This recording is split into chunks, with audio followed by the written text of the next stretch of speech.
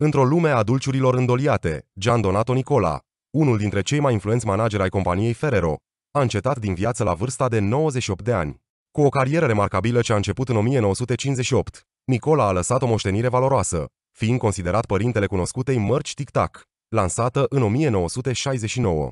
Această inovație a venit după succesul inițial al Nutella, un alt produs emblematic al Ferrero. Originar din Brusasco, un oraș din provincia Torino, Nicola a avut un impact semnificativ asupra brandului Alba și a fost esențial în extinderea acestuia pe piețele internaționale, inclusiv în Germania, Franța și Statele Unite. Parteneriatul său cu Michele Ferrero a fost crucial, cei doi colaborând strâns în Consiliul de Administrație al companiei. Înmormântarea sa recentă a avut loc în orașul său natal, unde a fost onorat de colegi, prieteni și admiratori. Severino Ciesa, un alt manager de frunte al Ferrero, a fost cel care a facilitat întâlnirea cu Michele Ferrero, marcând astfel începutul unei colaborări fructuoase care a schimbat fața industriei dulciurilor.